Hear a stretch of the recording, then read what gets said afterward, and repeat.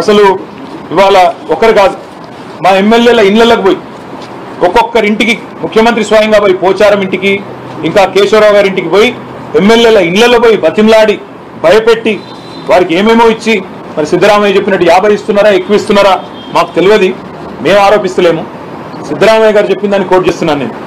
ఆ రకంగా ఇవాళ కాంగ్రెస్ పార్టీ దుర్మార్గంగా వ్యవహరిస్తా ఉంది. రాజ్యాంగ స్ఫూర్తికి విరుద్ధంగా వ్యవహారం చేస్తూ ఉంది. చట్టానికి విరుద్ధంగా వ్యవహారం చేస్తా ఉంది. అందుకే తెలంగాణలోనేమో న్యాయపత్రం అంటారు చేసేది మాత్రం అన్యాయం. అందుకే మేము ఢిల్లీకి ఎందుకు వచ్చినామంటే కాంగ్రెస్ పార్టీ యొక్క వైఖరిని జాతీయ స్థాయిలో దేశ ప్రజలకు తెలియజెప్పాలి. ఏ ఒక్క ఆప్షన్ కూడా వదిలిపెట్టకుండా జాతీయ స్థాయిలో కాంగ్రెస్ బీజేపీ రెండూ ఒకటే ఎవరికి అనుకూలంగా ఉన్నప్పుడు వాళ్ళు ఆ రకంగా ప్రవర్తిస్తున్నారు అనే మాట చెప్పడానికి వచ్చినాం. దాంతోపాటు ఇది కేవలం మొదటి అడుగు మాత్రమే. దీని తర్వాత తప్పకుండా ఒకవేళ హైకోర్టులో న్యాయం లభిస్తుందని నమ్ముతున్నాం. తప్పకుండా న్యాయం గెలుస్తుంది. దానం నాగేందర్ గారితో పాటు పార్టీ మారిన ఆరుగురు ఎమ్మెల్యేలు కూడా వెంటనే డిస్క్వాలిఫై చేస్తారని నమ్ముతున్నాం. ఎందుకంటే మా పార్టీ టికెట్ మీద ఎమ్మెల్యేగా గెలిచారు. మళ్ళీ ఆయనే రాజీనామా చేయకుండా సికింద్రాబాద్ ఎంపీగా కాంగ్రెస్ పార్టీ టికెట్ మీద బీఫామ్ మీద పోటీ చేశారు. అంతకంటే ఓపెన్ అండ్ షెట్ కేసు అయితే ఏమి ఉండదు.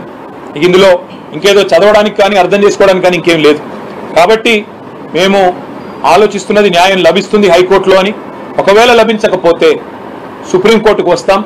సుప్రీంకోర్టులో కూడా తొందరలోనే పిటిషన్ కూడా వేయడానికి కూడా అన్ని సిద్ధం చేసుకుంటున్నాం. చాలామంది రాజ్యాంగ న్యాయ నిపుణుల్ని కూడా సంప్రదించినాం. అదే మాదిరిగా ప్రెసిడెంట్ ఆఫ్ ఇండియాని కూడా అవసరమైతే కలుస్తాం. మా పార్టీ లీడర్లందరూ కూడా వస్తాం. ప్రెసిడెంట్ ఆఫ్ ఇండియా గారిని కలుస్తాం. ఎలక్షన్ కమిషన్ పెద్దల్ని కలుస్తాం. అదేవిధంగా అవసరమైతే లోక్సభ స్పీకర్ని రాజ్యసభ చైర్మన్ని కూడా కలుస్తాం. ఏ రకమైన వ్యవహారం తెలంగాణలో నడుస్తుందో కాంగ్రెస్ నిర్వాహకమేందో జాతీయ స్థాయిలో ఎండగడతాం. కాబోయే సెషన్ కూడా వస్తా ఉంది ఇరవై నుంచి.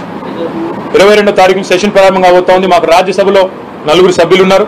రాజ్యసభలో కూడా ఈ అంశాన్ని లేవనెత్తుతాం. అంటే ఏ వేదిక మీద అయితే న్యాయం జరగాల్సి ఉంటుందో ఆ ఏ వేదికను కూడా వదిలిపెట్టకుండా తప్పకుండా కాంగ్రెస్ పార్టీ యొక్క దుర్మార్గాన్ని ఎండగడతాం.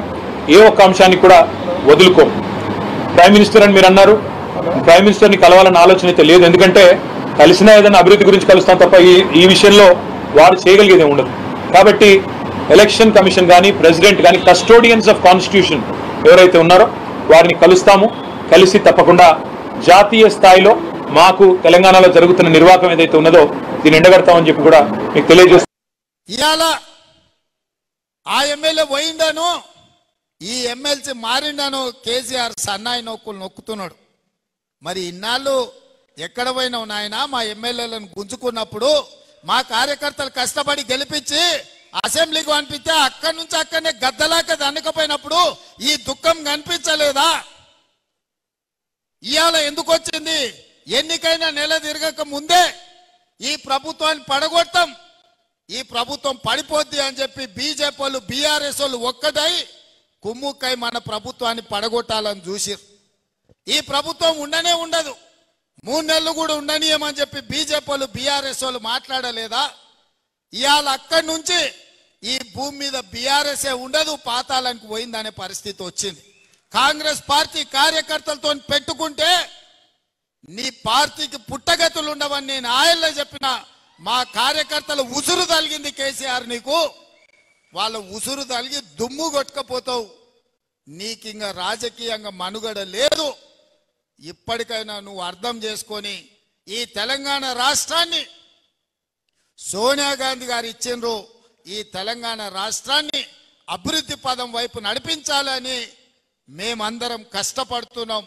ఇప్పటికైనా తెలంగాణ సమాజానికి క్షమాపణ చెప్పి అభివృద్ధి కోసం కష్టపడుతున్న కాంగ్రెస్కు అడ్డుపడకుండా చేతనైతే సహకరించు చేత కాకపోతే ఆ ఫామ్ హౌస్లో పడుకొని ఏడువు తప్ప ఇంకా కాళ్ళ కట్టెబెట్టాలని తండ్రి కొడుకులు మామ అల్లుళ్ళు చూస్తున్నారు. పాతకాలం లాగా లేరు మా కార్యకర్తలు. ఎవడైనా ఈ ప్రభుత్వానికి కాళ్ళలో కట్టెబెట్టాలని చూస్తే ఈపులు ఇమానమూతం అవుతాయని చెప్పి నేను ఈ సందర్భంగా చెప్పదలుచుకున్నా. తన దాకా వస్తే కానీ తెలియదు అన్నట్టుగా ఇవాళ కేసీఆర్ దాకా వస్తే కానీ కేసీఆర్కు తెలుస్తలేదు. ఇవాళ ఢిల్లీకి పోయి నాలుగు రోజుల నుంచి హరీష్ రావు కేటీఆర్ మోడీ చుట్టూతా పిల్లి తిరిగినట్టు తిరుగుతున్నారు. ఏదో ఒకటి చెయ్యి మమ్మల్ని ఎట్లన్నా కాపాడు అని. కాంగ్రెస్ పార్టీ కార్యకర్తల్ని సతాయించినోడు ఎవడైనా లెక్క చెప్పాల్సిందే. ఇవాళ వంతు కేసీఆర్కి వచ్చింది అని చెప్పి నేను సందర్భంగా తెలియజేస్తున్నా.